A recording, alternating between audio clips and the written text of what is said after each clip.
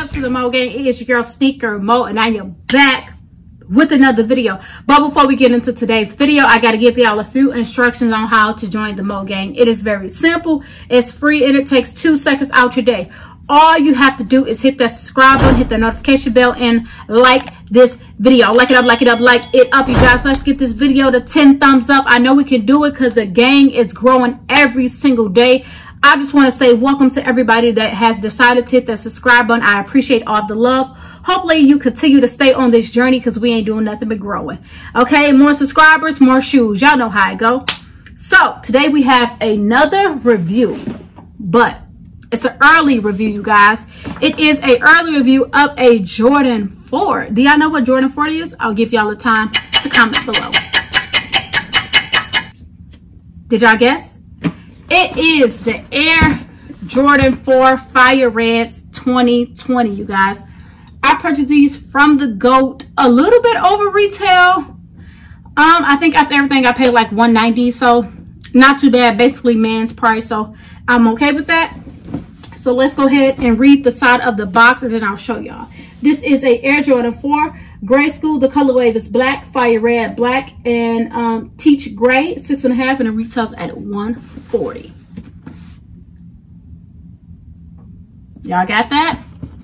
All right. And then, of course, you have your basically um, standard Jordan 4 um, flight box. Let's go ahead and take the top off. You have that nice print that's on the outside of the box. Okay, let's see. Let's flip the box, y'all. And bam, look at that. Isn't she a beauty, you guys? This shoe is definitely, oh God, it's definitely beautiful. Look at it. Look at the shoe, you guys. I want y'all to analyze the shoe. This is the Jordan 4 Fire Red 2020. So let's go ahead and get into the detailing because honestly, it's not that much to talk about, right? So you have that sole, right? You have that gray going by your heel. You have that white part in the middle with that red Jumpman at the heel tab or yeah, the heel tab, you have red going into that gray with that white, okay? Want to flip the shoe up, you have a white midsole going into that red all around. And then it goes into that black as well. You have your air bubble right there. Okay. And then you have your waffle, which is a white waffle with black knitting in the background. You have your black little straps right here with the red eyelids. You got your white laces, your red Jumpman. And on the back, you got that beautiful Nike Air in red, you guys.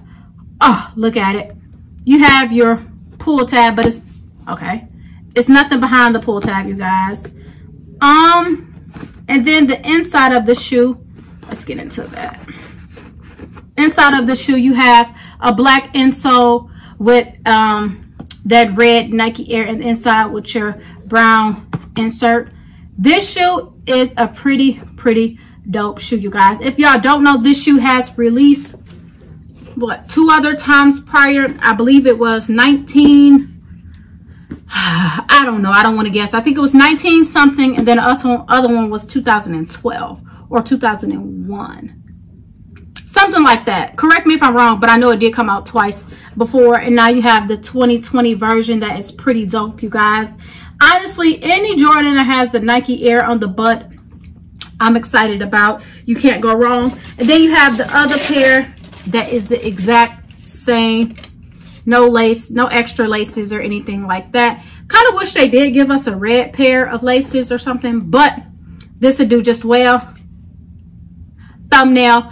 But if you guys like this review, go ahead and like this video. If y'all did not like this review, for whatever reason, do not dislike this video. But tell me what you did not like about it, and I'll try my best to change it for the next one. I love every last one of y'all.